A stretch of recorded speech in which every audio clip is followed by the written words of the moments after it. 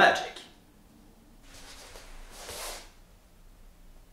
Martial arts. The next few minutes will be devoted to understanding the relationship between the two. But before getting the art of the matter, it is necessary to understand the relevance of magic for the study of martial arts. The study of martial art practitioner led me to one observation. Their motivation is directly attributable to an imaginary maintained by the cultural industries. The imaginary of martial arts is identifiable by model of aesthetic reference which are expressed by body techniques associated with the label martial arts.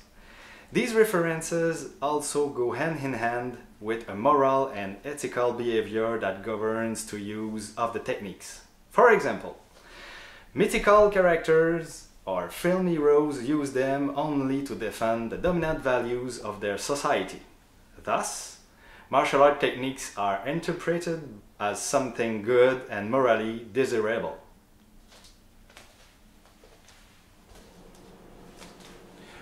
For illustration, good, not good.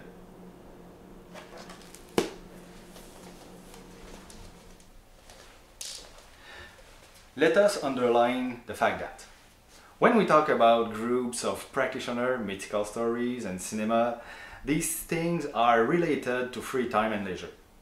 The justification for the existence of martial art techniques is therefore outside the areas and social time allocated to productivity and work. This means that the social utility of martial arts lies in the world of entertainment, especially through the aesthetic of bodily expression, that is so to say, a performance that allows us to live vicariously the fantastic aspects of imagination. Hmm, what does it mean?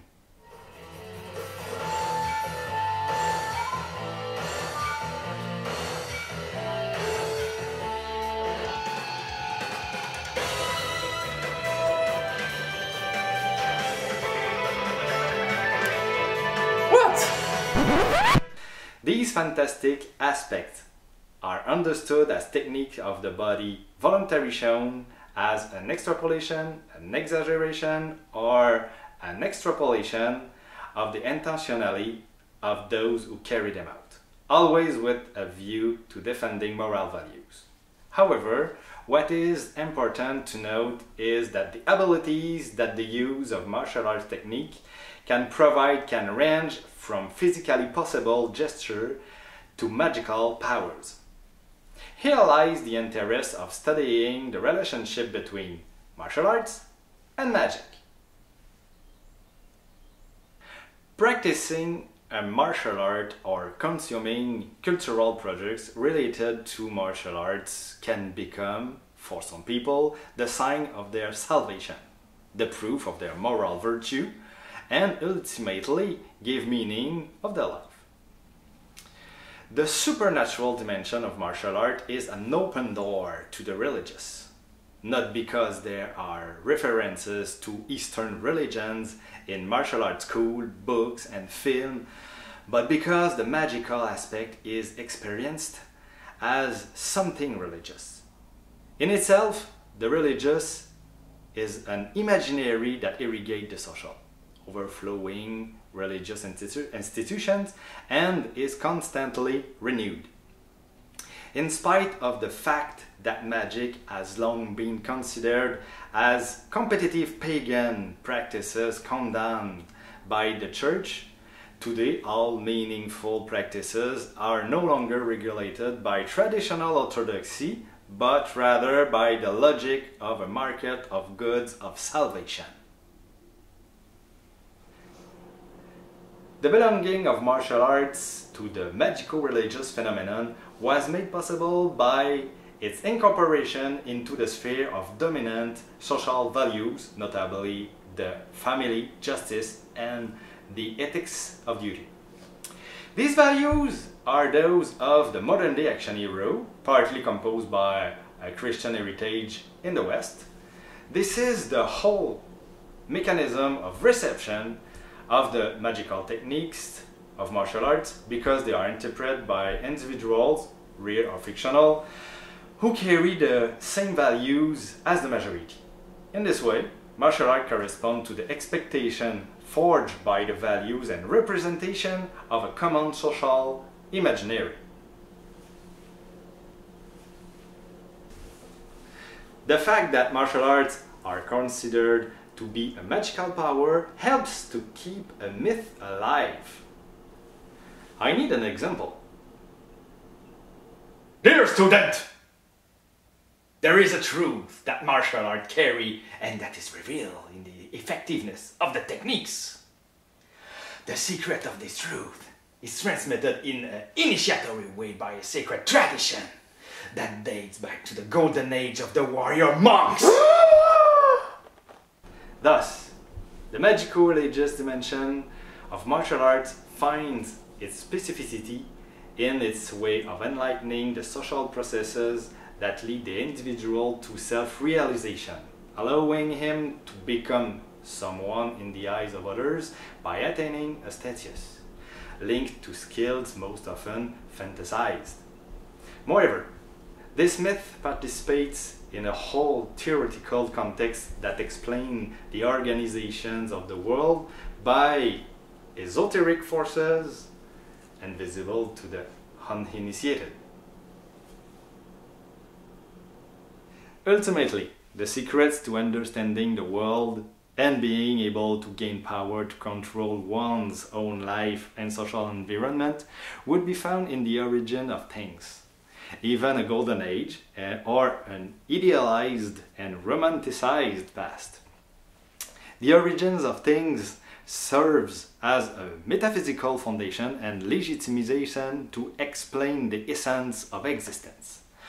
Popular martial arts literature does indeed speak of an essence of martial arts, or essence of any discipline, as if a person of our time were practicing in the continuity of a line of belief in the meaning of martial arts. By example,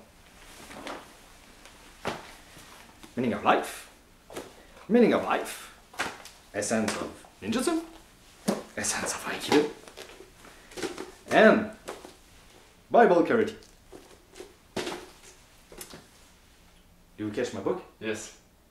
Cool.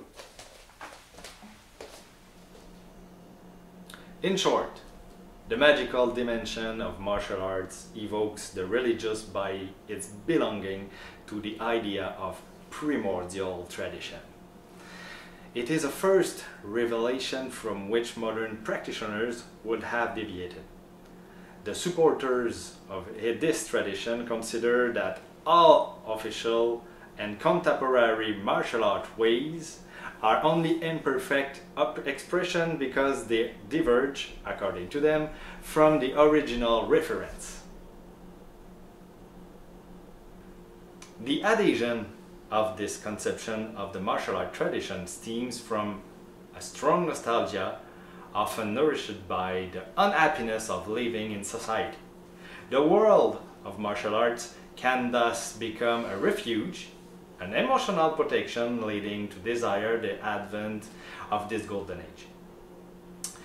This invented area comes with an imagery that is inherited from the ideological current of the counterculture period for, of 60s. This period saw the birth of ideas such as a world cultural heritage, hmm. A common tradition beyond all spiritualities, a universal truth. There is a striking resemblance between the discourse on the martial art tradition and that of counterculture. As a cultural product, martial arts participate in a social imaginary that has long been recuperated by the cultural industries. Like many others areas of society, martial arts contribute to the continuity and democratization of a functional and fantastic universe whose function is to act as a buffer zone for collective tension impulses and frustrations with regard to work, lack of recognition, and loss of refer reference points. In short, for some practitioners and fans of popular culture, martial arts are experienced as a self-realization or search for oneself, or even an existential exploration or quest. Against a cultural backdrop for capitalism and market logics, cultural symbols relating to the martial arts imagination have been commodified to fit the dominant social paradigm in the way of exchanging and transmitting both tangible and intangible cultural elements. The magical dimension of martial art is no exception in this context of competition. It can even be considered an inescapable ingredient. Martial arts have become one of the viable options in the face of the demand of salvation goods.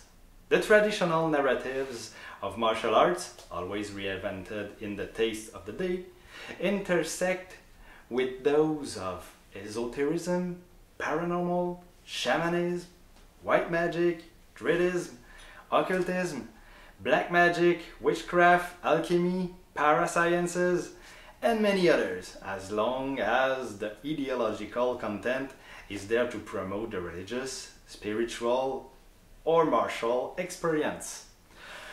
Whatever name the adepts consider appropriate to give to their experience. Apart from the discourse, we must ask ourselves what distinguishes magical religious practice from martial arts. Hmm. It is the technices. Okay, rock my technique. What technique? Hmm. Are you okay? Hey, bye. They are not differentiated by their effectiveness, but by the intention of the technician. He is the conduit through which the technique becomes personalized and unique. The way of being and living the ritual of learning and execution comes here to qualify the doing. It is for this reason that the master-student's relationship is so valued in martial arts it favors the staging of the initiatory process. The reputation and charisma of the master, the secret character imposed on the initiate as a technical ritual, constitute in itself a privileged relationship of authority that ensures the transmission and reproduction of the emotional charge that animates the gesture.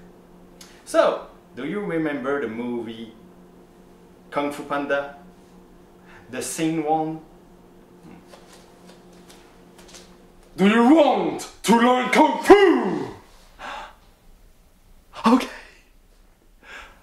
Then I am your master.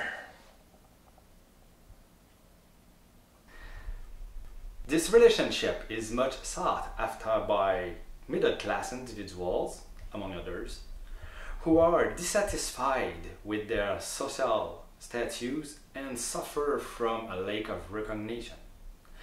By adhering to the magical practices of the martial art, these peoples find or regain meaning, coherence, if only by the syncretism of the meaning given to the desired cult object, a black belt.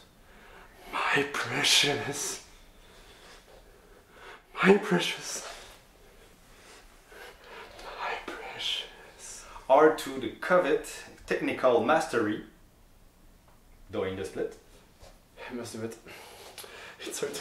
Help me. You kick me. Nope. In addition to adherence to practices, technices serve specifically to develop a perception of control and power over their lives. According to statistics, Young people aged 35 and under with a high level of education and little professional recognition tend to enhance their self-esteem by becoming experts in one of the magical religious social spheres. In closing, there are many reasons why people adhere to or dissociate themselves from magical religious belief or idea in the world of martial arts. Some people believe in them in the hope of discovering a primordial tradition, give access to a better world. Others use them as speeches to convince a clientele without really believing in them. But most often, it is an entertaining imagination that seduces fan communities. Thanks for watching.